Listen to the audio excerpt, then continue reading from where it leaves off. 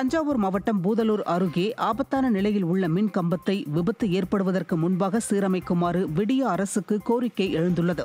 பூதலூர் அருகே திருச்சின்னம்பூண்டி கிராமத்தில் உடைந்து விழும் நிலையில் உள்ள மின் கம்பத்திற்கு முட்டு கொடுத்து வைக்கப்பட்டுள்ளது. அப்பகுதி மக்களிடையே அச்சத்தை ஏற்படுத்தியுள்ளது. இந்த சாலை வழியாக திருச்சி பூண்டி மாதா கோவில் கல்லணை உள்ளிட்ட இடங்களுக்கு அதிக அளவில் சுற்றுலா பயணிகள் செல்வதால் பெரும் விபத்து ஏற்படுவதற்கு முன்பு உடைந்து விழும் நிலையில் உள்ள மின் கம்பத்தை அதிகாரிகள் சீரமைக்க வேண்டுமென பொதுமக்கள் கோரிக்கை விடுத்திருக்கின்றனர்.